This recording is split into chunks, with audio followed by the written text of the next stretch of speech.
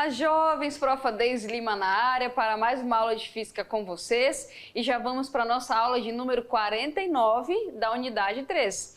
Então, nós já falamos um pouco de relatividade, falamos também sobre mecânica quântica, certo? E nós vamos continuar aí falando de outras áreas da física. E sabe, pessoal, o que, que nós vamos falar hoje? Alguém já ouviu o termo nuclear ou alguém já ouviu a física nuclear? Certo? Alguém já deve ter assistido algum filme que fala de bomba nuclear, certo? Algum filme também aí, aqueles filmes assim mais fantasiosos, né? Vamos colocar de ficção científica que fala também e usa termos nucleares, certo? Então, nosso conteúdo de hoje é a física nuclear e nós vamos entender, pessoal, o que que estuda aí a física nuclear. Então, vamos nessa?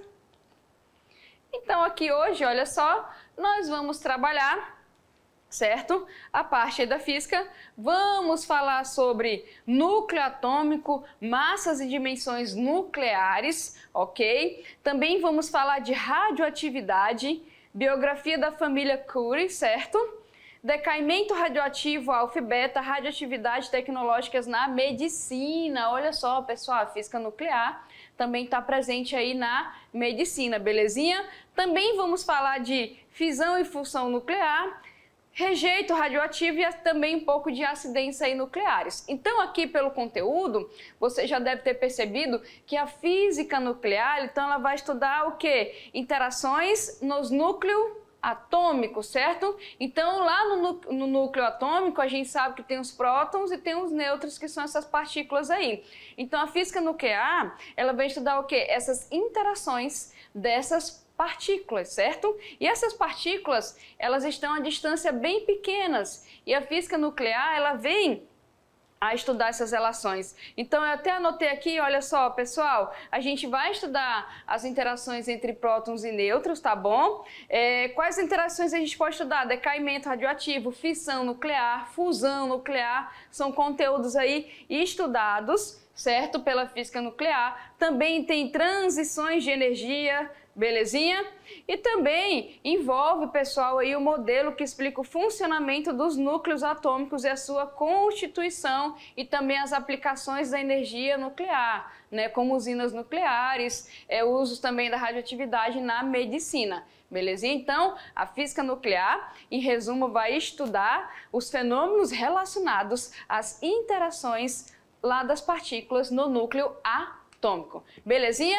Então vamos dar uma olhadinha, pessoal, num pouco de história aí, falando de física nuclear, tá certo? Como foi falado aí, a área da física que estuda as propriedades e interações dos núcleos atômicos, ok? Assim como os mecanismos básicos das reações nucleares, ok? Então é por isso que estuda né, a própria constituição do átomo, tá? Com nêutrons e outros núcleos. As aplicações mais conhecidas nessa área são o quê? A geração de energia nuclear, né, através das usinas aí nucleares, ok? E aqui, pessoal, nós temos a foto, né, de uma usina é, de energia nuclear. Vapor não radioativo sai das torres de resfriamento, né? Então, esses vapores aqui são para dar aquela resfriada lá, né, no núcleo, tá certo? Então, as aplicações mais, mais conhecidas é a nossa usina nuclear e também tem na medicina. Belezinha, pessoal? Bom, é, mas a física nuclear ela também já foi usada aí para outros meios, né? Um deles é a questão da tecnologia de armas nucleares, ok? Que de certa forma não, não é uma aplicação legal, né, gente? Se a gente for ver assim, tá? E aqui, essa foto é da explosão de, como está escrito aí, Trinity, ok?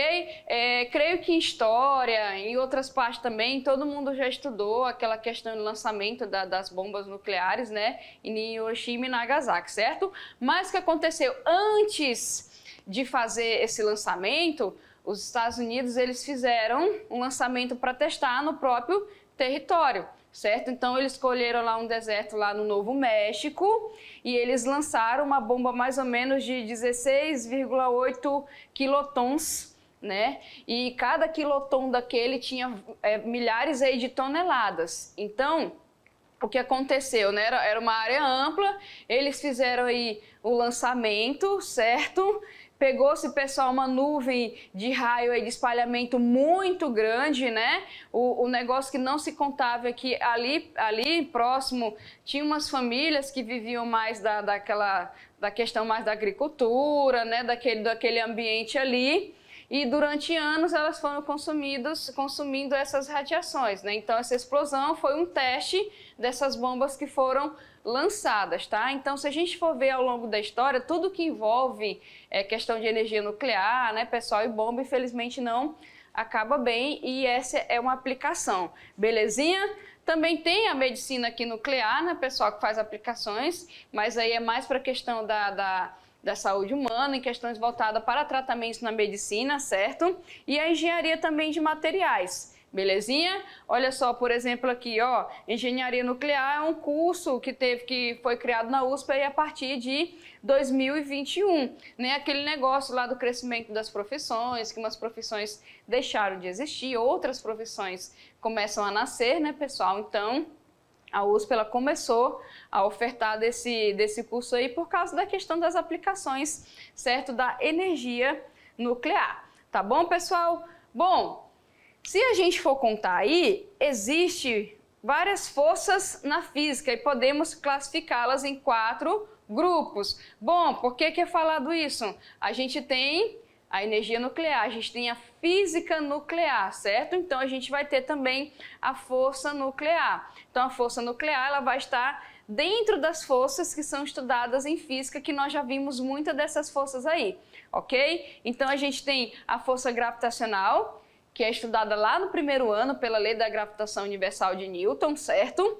que tem a relação com a atração, né, pessoal, entre os corpos e é responsável pela órbita dos planetas ou pela queda de uma fruta, que seria o quê? A força-peso, né, pessoal? Quando a gente trabalha aí, que todo o corpo ele é atraído para o centro da Terra e ele faz isso com uma certa aceleração gravitacional, certo? E a gente também tem essa interação, tá? Quando você tem massas bem maiores, você tem a gravitação universal de Newton. Então, essa é uma força de interação aí da natureza, belezinha? Que é a força gravitacional, tá? Mas ela, comparada a outras forças, vamos dizer que a força gravitacional em escala, comparada a outras forças, ela é um pouquinho mais fraca, tá bom? A gente tem mais intensa do que ela, que nós já estudamos no nosso terceiro ano, que é a força eletromagnética, certo? Nós vimos que a questão da força eletromagnética é a interação, né, pessoal, de campo magnético, certo? Então, a força eletromagnética que dá origem aos fenômenos elétricos, aos ímãs, às reações químicas, né, que envolvem isso daí também. Belezinha? A gente estudou a indução de Faraday, certo? Quando você tem é, um campo que oscila perto do condutor, você consegue induzir uma corrente elétrica certo? Essa corrente elétrica que é induzida gera um, um, campo, né, pessoal, nesse condutor. A gente tem uma força, vocês lembram que surge aí, que é a força eletromotriz, que por causa da separação das cargas, tem a força magnética, né, que é a força de interação aí, belezinha? Então a gente tem, olha só, essa força eletro eletromagnética, que é uma das forças fundamentais, tá? Belezinha? E aqui, olha só, Tratando, deixa eu colocar o resto das figuras para vocês perceberem aqui. Olha só que bonitinhas demonstrações, né? Para a gente ver esse tipo de força aqui sendo aplicada. Aí vai entrar na força do nosso conteúdo de hoje, que é a nossa força nuclear. A gente tem a fraca e tem a forte. Bom, na fraca, que produz o decaimento, em que o elétron é emitido do núcleo, tá? Lembra que eu falei para vocês a física nuclear, ela estuda fissão, ela estuda fusão do núcleo, também estuda decaimento radioativo, né? Então, a força nuclear fraca, ela vai produzir o decaimento, a gente tem, olha só, o que acontece com o elétronzinho aí, ele é emitido do núcleo, certo? E, pessoal, quando o núcleo de um átomo é instável, ele sofre decaimento radioativo natural. Isso quando a gente tem a instabilidade desse núcleo. Ó, vamos colocar essa figura aqui no quadro só para a gente ver ela um pouquinho maior. Vamos lá para o quadro? Olha só, pronto. Então a gente tem, antes do decaimento, você tem o núcleo pai, vamos dizer dessa forma aqui, tá bom? Depois do decaimento, tu tem o núcleo filho, né, gente, com dois prótons e dois nêutrons a menos, tá? E esses dois prótons e dois nêutrons a menos, a gente pode ver desse lado que é a partícula alfa, que é o do núcleo de hélio aí, tá bom? Aqui também, olha só, núcleo pai, o núcleo filho aqui, um próton extra e um nêutron a menos. E para isso a gente tem aqui, ó, o elétronzinho, né? Que ele é solto do núcleo aqui. E o núcleo energizado, né, pessoal? Tu tem o núcleo aqui mais a questão dos raios gama, que é o fóton alfa de energia, belezinha? E junto com essa, a gente também tem a força nuclear forte, que é responsável por manter as partículas do núcleo unidas, mesmo que tenham cargas elétricas iguais, porque a gente sabe que cargas elétricas iguais, a gente tem o que? Força elétrica de repulsão. Mas quando essas partículas elas conseguem ficar unidas no núcleo, é por causa da força nuclear que forte, tá, pessoal? Que supera aí a força elétrica, beleza? Então aqui eu vou colocar a figura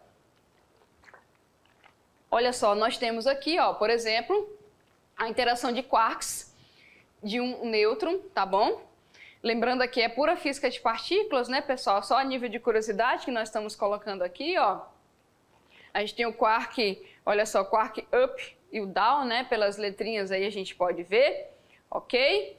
Só para a gente dar uma olhadinha aqui, tá bom? Então, ó, só voltando aqui, só para a gente ver a diferença, a nuclear fraca produz o decaimento certo? Em que o elétron é emitido desse núcleo aí e a força nuclear forte é responsável por manter as partículas unidas no núcleo, belezinha? Então tu pensa, forte, manter unida. Ok, pessoal? Belezinha? Bom, aí a gente vai ver agora um pouco de história, tá? Olha só, vamos ver aí, pessoal, um pouco de história. Então a gente vai começar lá em 1896, certo? A física nuclear surgiu a partir da descoberta da radioatividade, lá em 1896, pelo físico francês Antoine-Henri Becquerel, tá bom?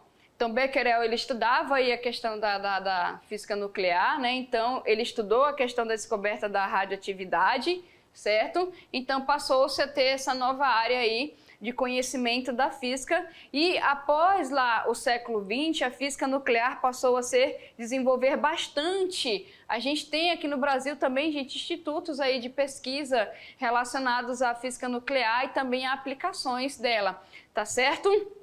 É, então, constituiu-se o primeiro reator nuclear que foi destinado à pesquisa científica e à fabricação da primeira bomba atômica que foi construída logo em seguida, né? Então a gente tem a ciência, a ciência estuda, né, pessoal, para aplicações aí tecnológicas, mas infelizmente, né, algumas descobertas acabam indo aí para para outros rumos, né?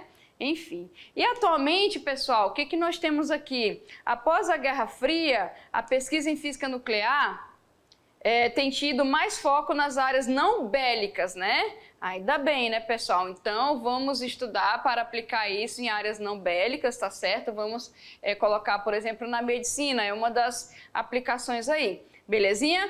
Como a física de partículas. Então, a física de partículas, que é aquela área da física que eu falei para vocês, que se preocupa em estudar todas as partículas que constituem lá o átomo e suas divisões, tá bom? É uma área que estuda justamente para ver o funcionamento e as aplicações, ok?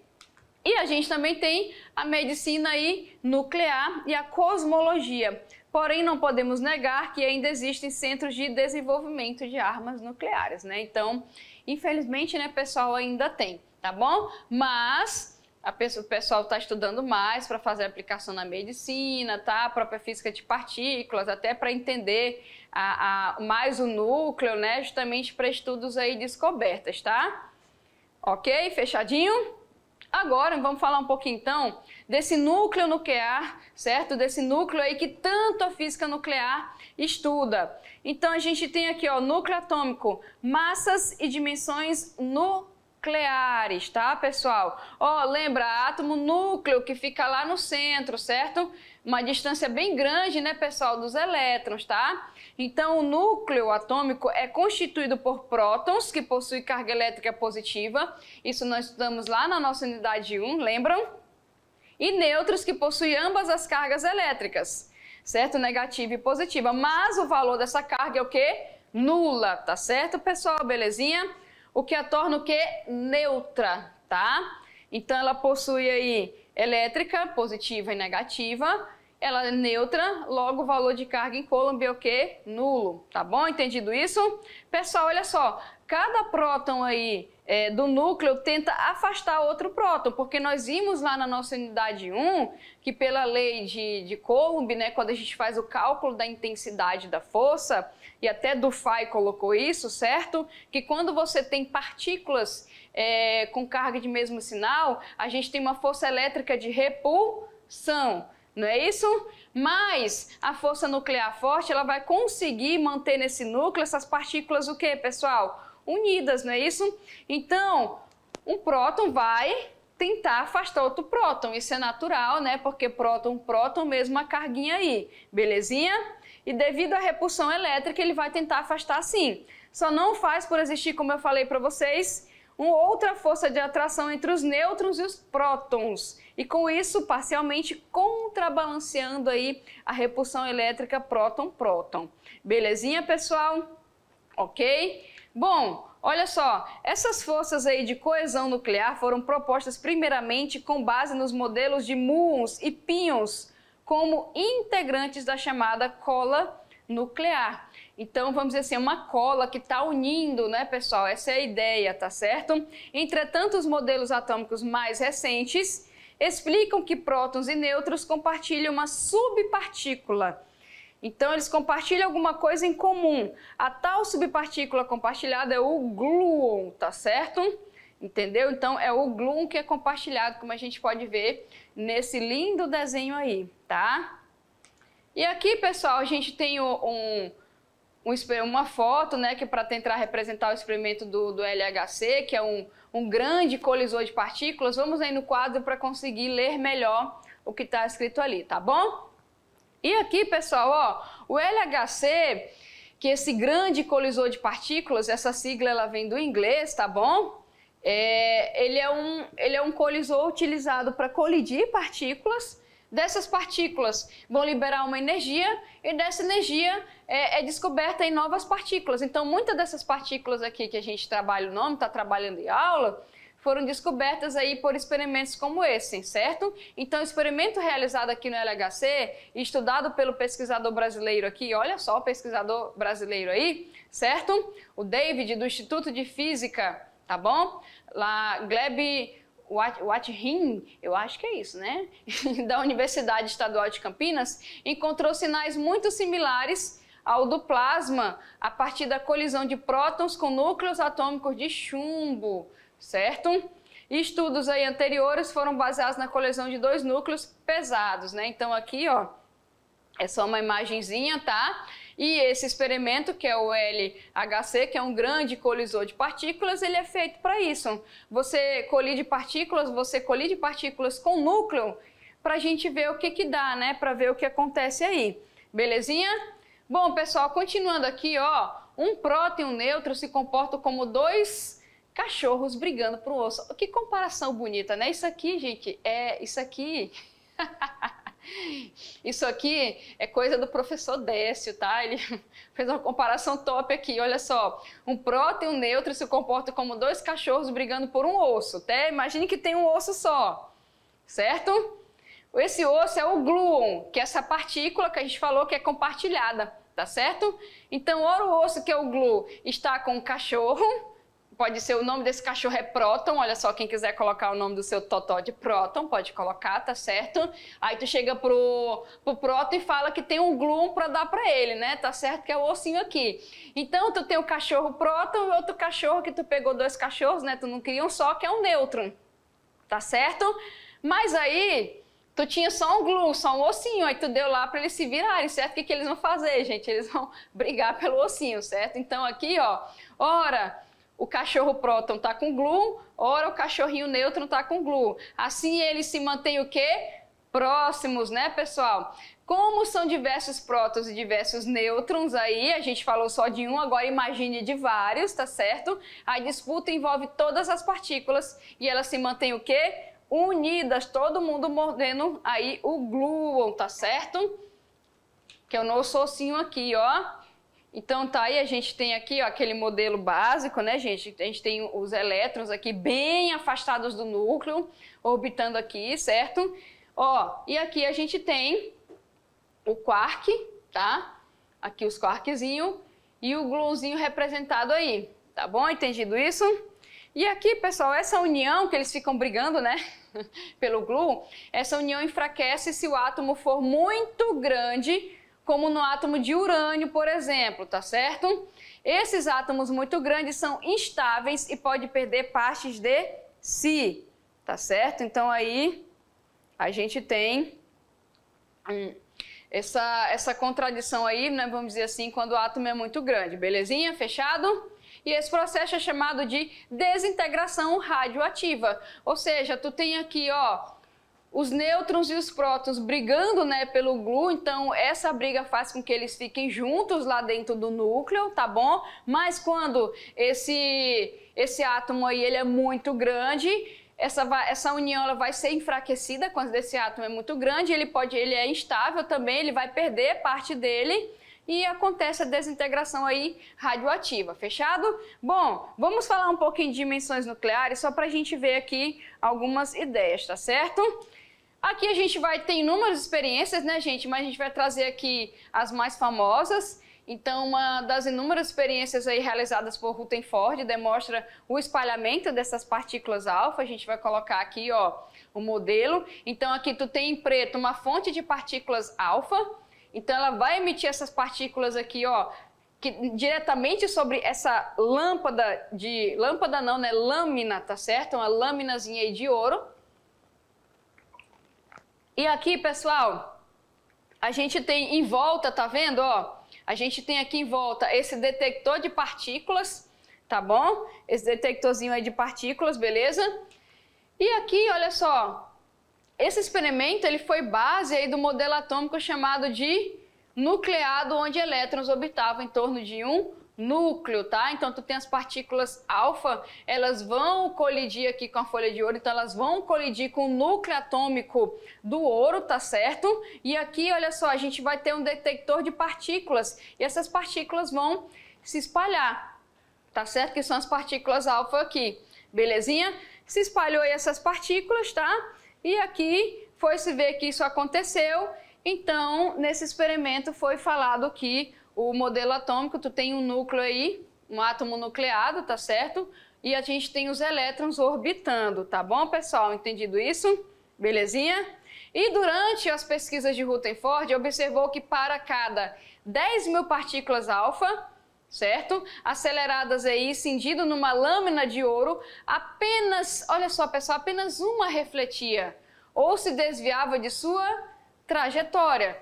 Então aqui, ó, tu tem a trajetória das partículas alfa, tá certo? Aqui, ó, ó, apenas a gente tinha aqui, ó, batia, a gente tem isso aqui é reflexão, certo? Ó, aqui tu tem o desviozinho da trajetória, aqui também tu tem o desviozinho da trajetória e aqui seria a questão da reflexão. Então ele viu que a cada 10 mil partículas que eram aceleradas lá daquele emissor de partículas alfa, na lâmina de ouro, apenas uma refletia ou se desviava da sua trajetória, tá? Aqui um desenhozinho fora de escala, tá, gente? Como tá escrito aqui, belezinha?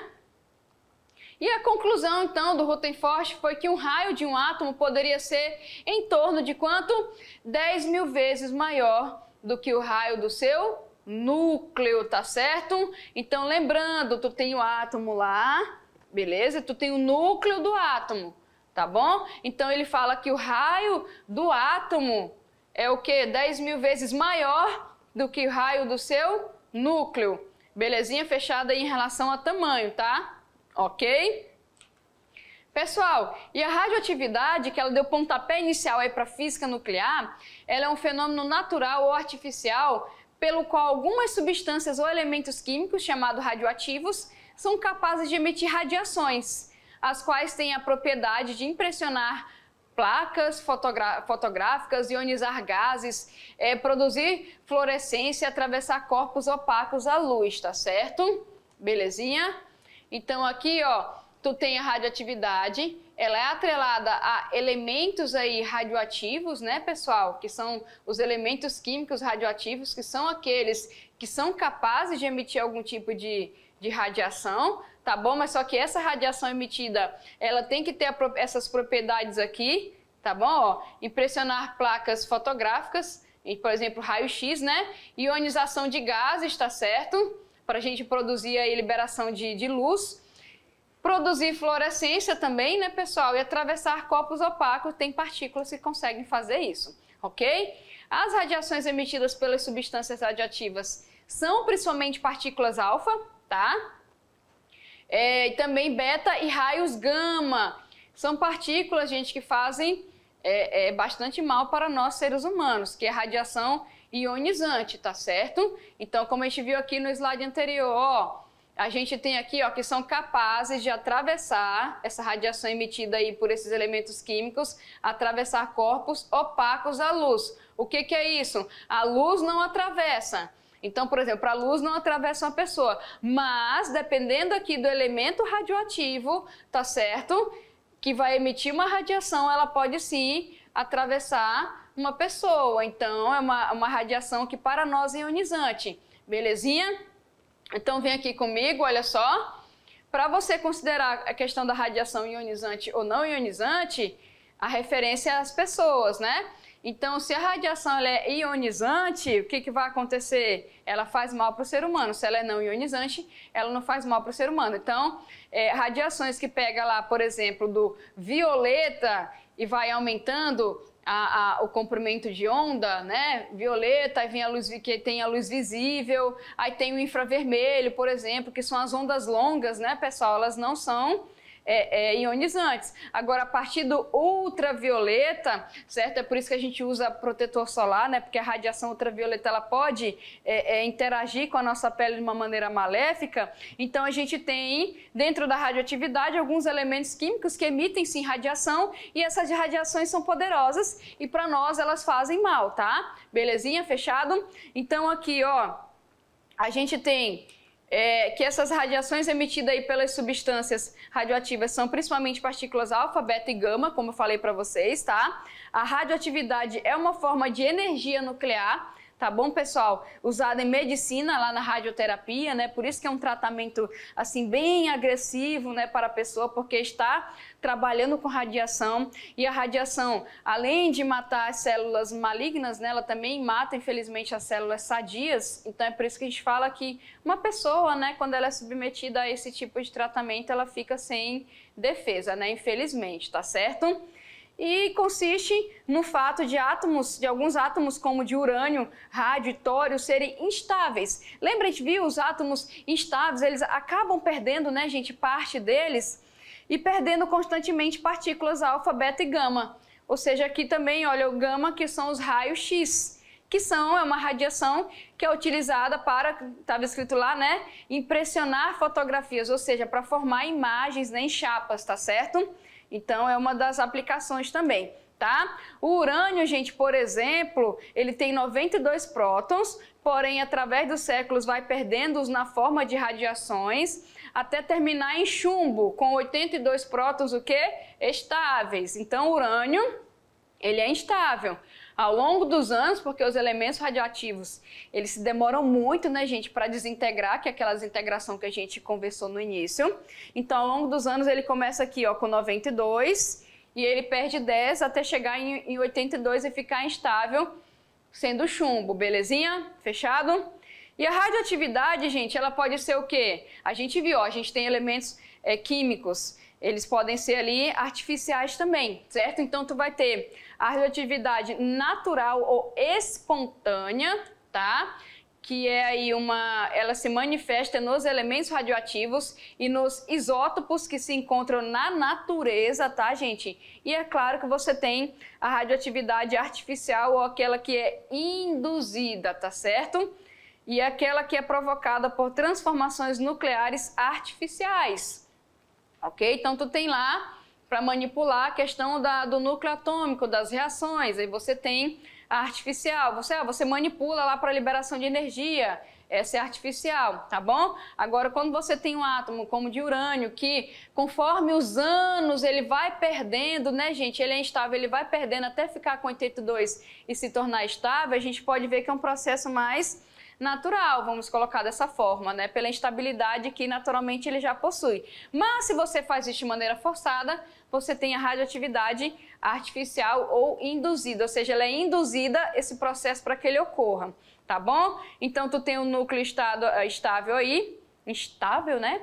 Tu tem a radiação e o outro núcleo estável, que a radiação continua estável, que a radiação para. Então, gente, a emissão da radiação, ela ocorre até o núcleo deixar de ser instável. Enquanto ele for instável, ele vai emitir essa radiação, tá bom? Então, se você pega um elemento e torna esse núcleo desse elemento aí instável, ele vai emitir essa radiação, tá certo? Até ficar estável, tá bom? Belezinha?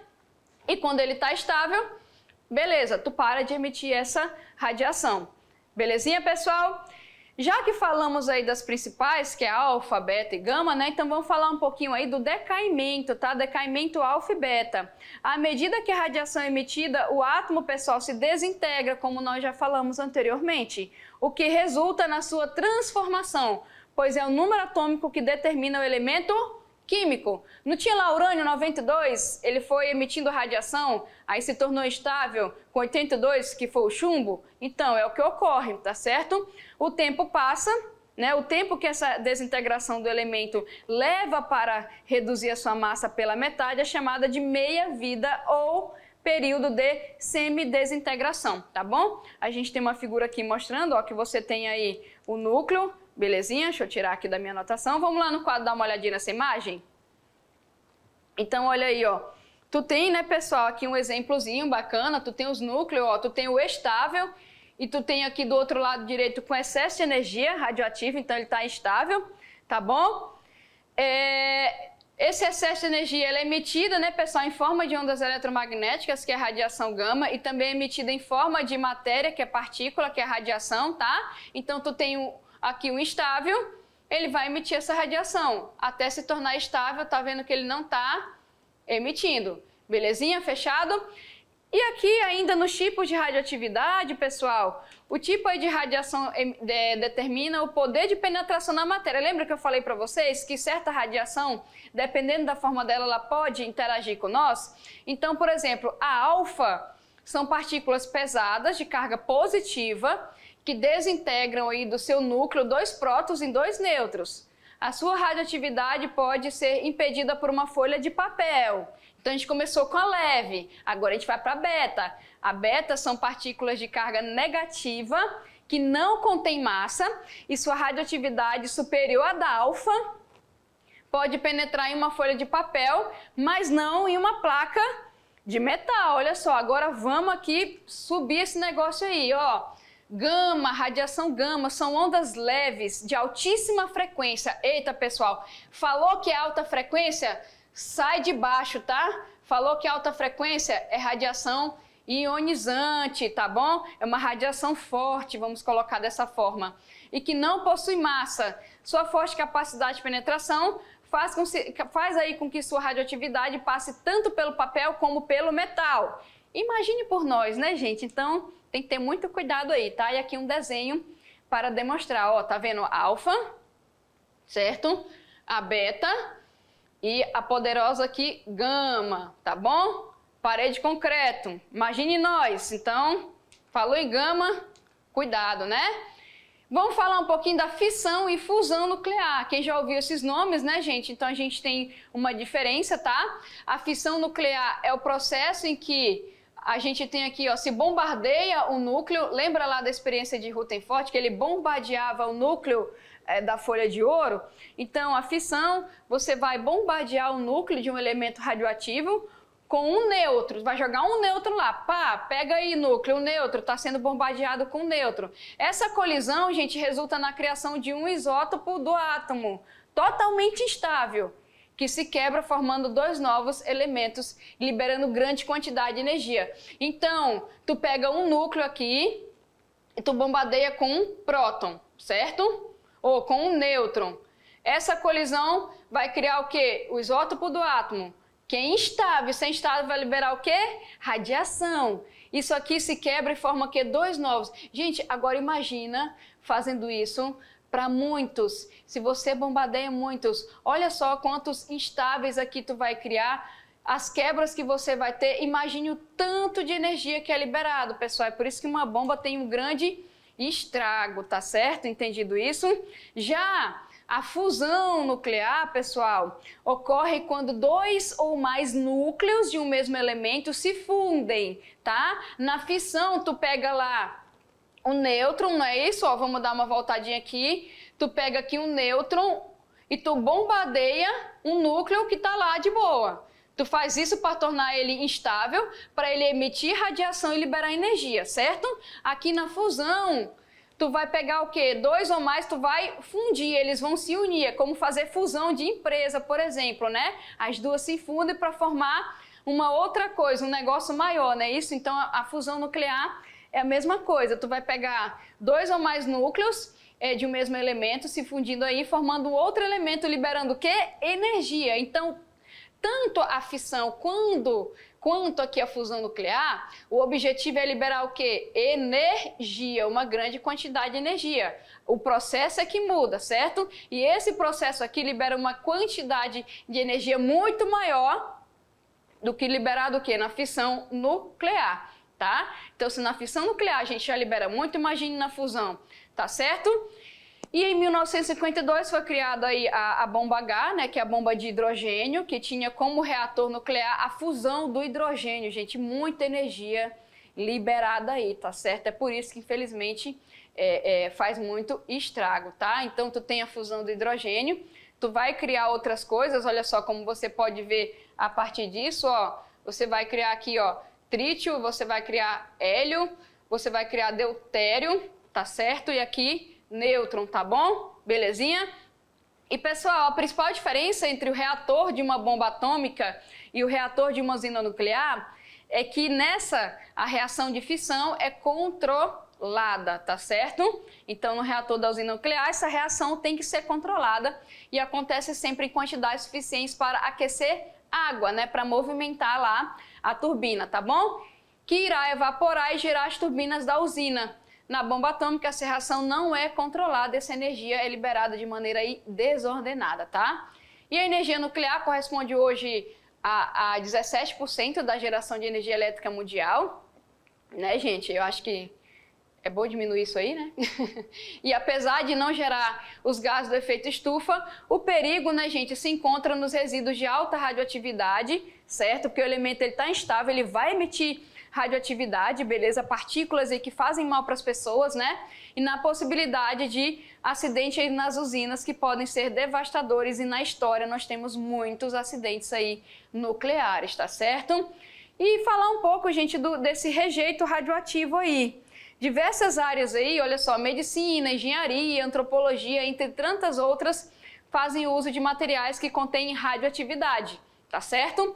Assim, os cuidados com os resíduos são indispensáveis para que esse, esse tipo de lixo não contamine o ambiente e provoque doenças como câncer, né, gente? Porque a radioatividade, ela interage com a célula, ela muta a célula e gera câncer, né? Ou ainda resulta em acidentes nucleares, tá? Aqui, se a gente for ver alguns acidentes nucleares ocorridos pelo mundo, a gente tem que o primeiro ocorreu em 1952, tá certo? No Canadá, tá certo? É, o acidente aí no reator foi semelhante em Chernobyl, só que de menor escala. Não houve nenhuma morte, né, que foi pesquisada aqui. Ele é considerado nível 5, tá? Beleza? E em 58 aconteceu um novo acidente, causando uma série de consequências para as instalações, tá bom? Também nível 5, não foi datado aí nenhuma vítima. Acidentes, né, pessoal, na em Chernobyl, tá bom? Em 1896, certo? É considerado aí um dos maiores da história, né, gente? Liberou uma nuvem radioativa aí de 600 70 é, toneladas de urânio, gente, é muita coisa. O urânio ele é muito estável, né? E 900 aí de grafite na atmosfera. responsável pela morte de 56 pessoas, né? E também de 4 mil a 985 mil com câncer, né, gente? Porque essa radiação ela vai sendo liberada aí muito tempo, tá? Porque demora bastante para esse elemento se tornar estável e parar de liberar a radiação. Outra aqui também na União Soviética, né? Tem aqui, ó, esse já atingiu o nível 6, ok? Lá em Ozorosk, tá bom? Aí aqui, ó, só para a gente ver o mapa, tá? E também aqui, ó, em Soinov Bor, eu acho que é assim que se pronuncia, certo? Nessa usina aqui, vários acidentes, né, gente? Pelo menos oito, olha só a quantidade, né, pessoal? Então, é algo bem perigoso, tá certo? É, a gente também tem aqui, ó, a imagem da usina, tá? É, nós também temos aqui, ó, nos Estados Unidos, alguns, tá certo? E em Milesland aqui, olha só, o maior acidente do, dos Estados Unidos, né? Nível 5, houve ainda alguns outros acidentes ao longo dos anos, tá, gente? Com menor gravidade, tá certo? É, em Minnesota também, olha só, em novembro de, de 2022, ano passado aí, a gente tem que essa usina lá em Minnesota sofreu um vazamento de água, né? Contendo trítio radioativo, então é perigoso. Ou em Ohio, gente, também, ó, esse ano, né, no começo do ano, lá em fevereiro, um trem de carga com produtos químicos tóxicos é, descarrilhou e pegou fogo aí nos Estados Unidos, então libera, né, essa nuvem de poeira radioativa, tá certo? Na Europa também, a gente tem alguns aqui para colocar para vocês. Olha só, em 1957, na Inglaterra, nível 5, tá bom? Em é, Bornice também, né, gente, 77, na Tchecoslováquia, tá? Hoje Eslováquia, nível 4, tá certo? É, Macaulay, na França, em 2011, também teve, tá bom? Explosão do forno, né, gente, lá do complexo nuclear, tá certo? Mas outros países também lá na Europa, como Suíça, nível 4, Suécia, nível 2, Alemanha também, ó, nível 3 aí, e 1986 também, tá? Japão, Japão tem também, tá, pessoal? Pra gente fechar aqui, ó, certo? É, em 1881, nessa usina, quatro vazamentos, gente, radioativos, certo? Então, olha o tanto de pessoas contaminadas aqui, tá? E Tokaimura também, 99, a gente teve reação descontrolada aí de vazamento de radiação, belezinha? O que, que mais temos aqui, ó? Fukushima também, 2011, né? A gente sofreu danos aqui de três dos seus dois reatores, é, classificar também como escala 5, tá? Fukushima. No Brasil, também teve, né, gente? O Celso 137, quem já ouviu a história aí, 1987, tá certo? O acidente foi de nível 5, segundo a, a, a agência, né? Que faz essa classificação. Aconteceu lá em Goiânia quando dois catadores de papel encontraram um aparelho de radioterapia e levaram para o ferro velho, né, gente? Eles abriram, tinha o elemento radioativo lá dentro, né, gente? Ela estava dentro de uma cápsula de chumbo tá certo? E a coloração brilhante do cloreto de Celsius no escuro pressionou aqui o cara, né? Infelizmente o rapaz que, que encontrou aí. E ele levou para várias pessoas e, e, vizinhos, tá? E após aí o contato com o Celso, houve náuseas, vômitos, né, gente, de diarreia. E ele foi a primeira vítima, né, desse acidente aí é, no Brasil, tá, gente? E ao todo, 11 pessoas morreram e mais 600 foram contaminadas à exposição de certa forma, aí atingiu 100 mil pessoas, né? Então, vem aqui comigo, olha só, né? Radiação, gente, é, é, algo perigoso. Realmente, a gente pode ver na história que tem muitos acidentes, tá certo? Tem as aplicações boas, mas também, infelizmente, tem as aplicações ruins, tá bom? Bom, depois eu volto com vocês com mais conteúdo de física. Tchau, tchau.